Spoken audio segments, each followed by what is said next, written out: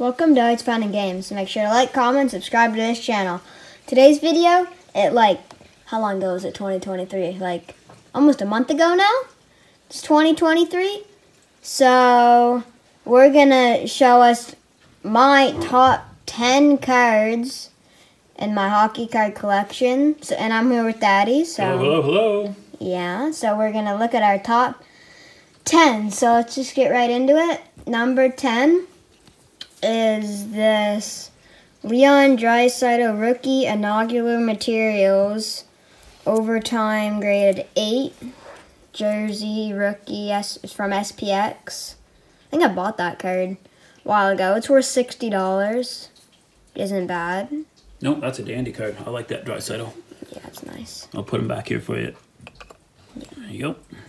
Number nine, the my Reid Duke Future Watch Patch Auto, three color patch auto, 50 of a 100. Nice. That's like one of my favorite cards. That's nice. That's number nine. That's worth about 60. Here is my bought this at show. First show we ever went to. My Quinn Hughes PSA 9. Love that card. It's my first big card.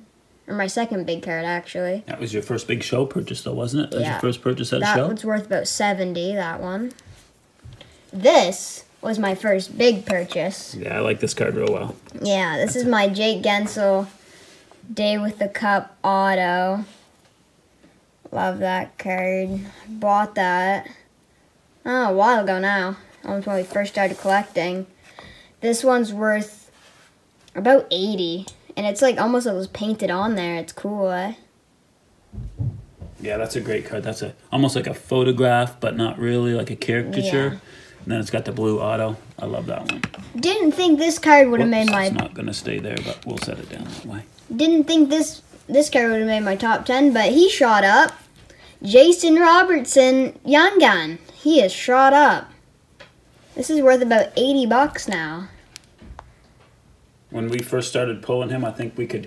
He was like a ten or fifteen dollar card, and then we kept a few of them. We sold a few of them, and then he just started to really perform and shoot way up. So Yeah, so I didn't think that would make my top 10, but it did. It's We worth about 80 now. should have sent him to grading when we sent some stuff, but This is another big show purchased. Same show, my Brady Tkachuk PSA 9. It's worth about, what was that worth? 80? yeah, that's the Yeah, 80. that's the 80. It was a hundred for a lo- was a long time, hundred, but but lately he's dropped down a little tiny bit. yeah, which isn't bad. That's a nice card. No, nice card.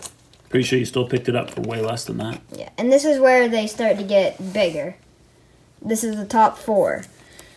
Here we go. Number four is the Elias Pettersson 9.5 BGS 9.5 almost straight 9-5. only centering got a 9 love that card I picked that up for 130 and now it's worth like 140 so not a whole much of a difference but it's a nice card to have. I've been wanting one for a while. It's not bad, eh? That's a beauty. Yeah, we got that on uh, SFTB, I think. Then graded this one ourselves. The Adam or my Adam Fox in a on beginner breaks, our breaking channel. We pulled this card and then I graded it. So this is the Adam Fox overtime grading 9.5. That's worth about like 150, 160, which isn't bad. Love that card there. This is the most recent show pickup.